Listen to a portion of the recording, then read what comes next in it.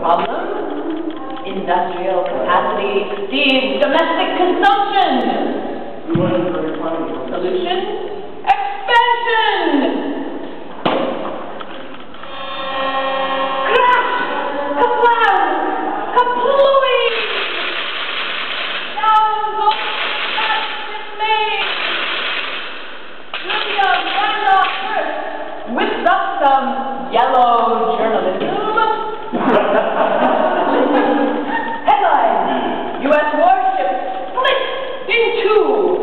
By enemy's secret infernal machine. Ah, hysteria over the sinking of the battleship Maine caused war with Spain and the rich man's gain. From Cuba to the Philippines, 500,000 U.S. go to war. Four and a half thousand U.S. dead will never understand what they died for. What really happened? Let's speed ahead to 1976. Ah, yes, I'm just back from Vietnam, Sam, where I was known as something of a maverick, not to be confused with John McCain. Oh! Admiral Hyman Rickover is my name. I dare such clear Spain of all blame. I studied it carefully. You know, there was still up in the coal bunker, and that made a little bit of explosion. And then the, the, the plates, which were bent like this, in an upward V, means internal explosion. Ah, I'll just take the stairway down. Now we go back to 1964. Will you see President Lyndon Baines Johnson in the Oval Office, which we present tonight in the square for left? What is he doing? He's ready for a photo op. He has his glasses off. Just announced. North Vietnamese attack U.S. warships in the Bay of Tonkin. He's about to sign this resolution, which Congress unanimously passed. The Tonkin Resolution gives the President the power to initiate hostilities without congressional consent. Soon, 500,000 troops are there.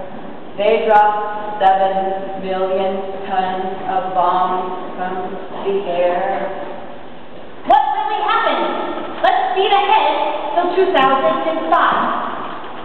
Ah, my name, yeah, well, is historian Robert Hanyok from the National Security Agency here to say that North Vietnam, Vietnamese did not attack U.S. warships on that day.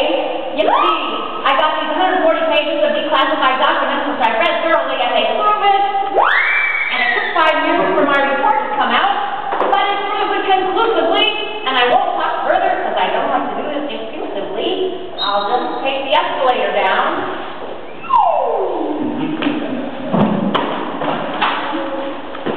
are now. In 2003,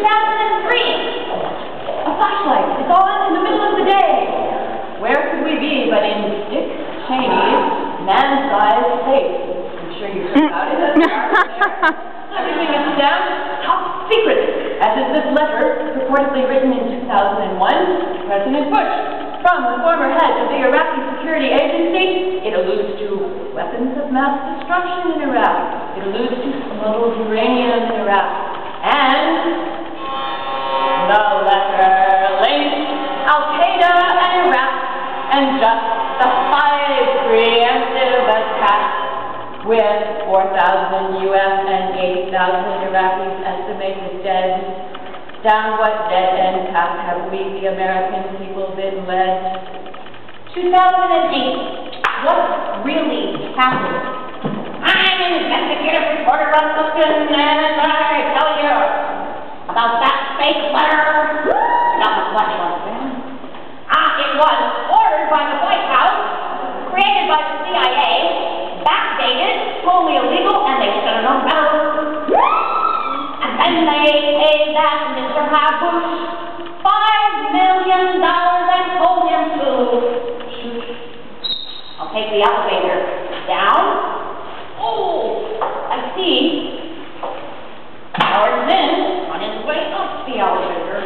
Howard. Hey, Ron, that was a great investigative reporting you've been doing. That's going to be in my next book.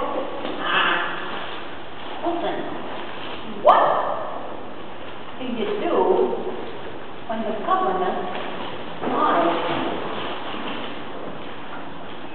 You've got to study all the facts and then get your public comment and go out in the street